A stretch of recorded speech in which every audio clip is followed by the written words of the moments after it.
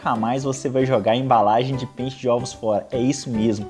Nesse vídeo aqui eu vou mostrar uma super dica incrível que você consegue fazer aí se você mora em casa, mora em apartamento e você vai se surpreender. A primeira coisa que você vai precisar vai ser de um litro de água e apenas três gotinhas de detergente. Tem que ser detergente neutro, ok pessoal? Essa mistura aqui eu vou explicar para vocês mais à frente o que, que ela vai ajudar no nosso processo aqui. Então acabei de misturar aqui muito bem três gotinhas de detergente em um litro de água.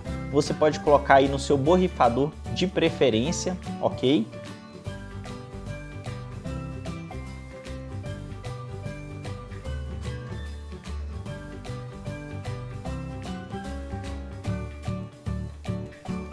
Nesse borrifador aqui, eu tenho que bombear ele um pouquinho para dar pressão, pois esse é o sistema dele. Mas se você tiver o outro borrifador, não tem problema, pode ser qualquer tipo de borrifador. Lembrando, pessoal, que eu vou deixar no final do vídeo uma super dica aí só para quem está no final, que é uma surpresa incrível para vocês também. Eu estou aplicando aqui essa solução que a gente acabou de fazer aqui em toda a bandejinha, tá vendo? Mas por que, que você está aplicando essa solução aí?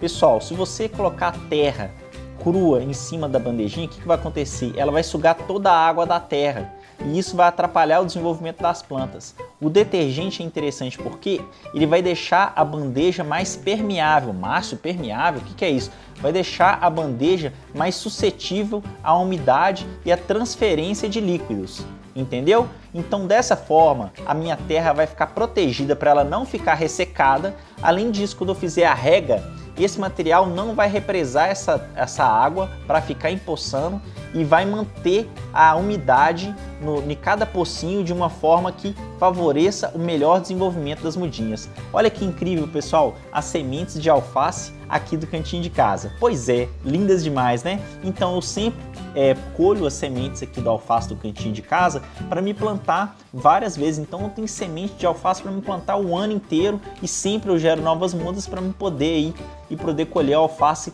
delicioso aqui no cantinho de casa. Em cada pocinho desse você pode colocar uma semente, duas, três ou quatro sementes, não tem problema. Agora eu vou guardar as sementes para eu poder usar mais tarde.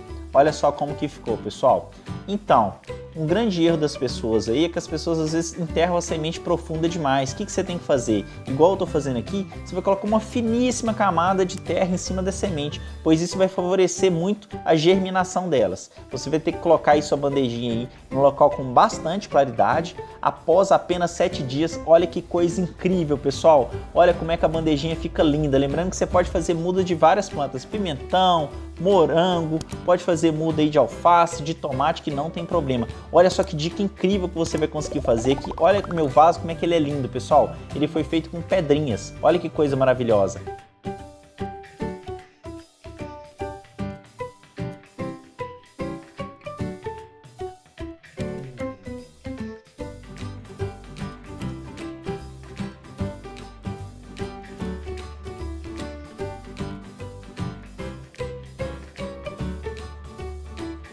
Logicamente tem que ser um lugar muito bem iluminado. 15 dias depois, olha como que a muda de alface ficou vigorosa, ficou linda, ficou maravilhosa e fica um charme.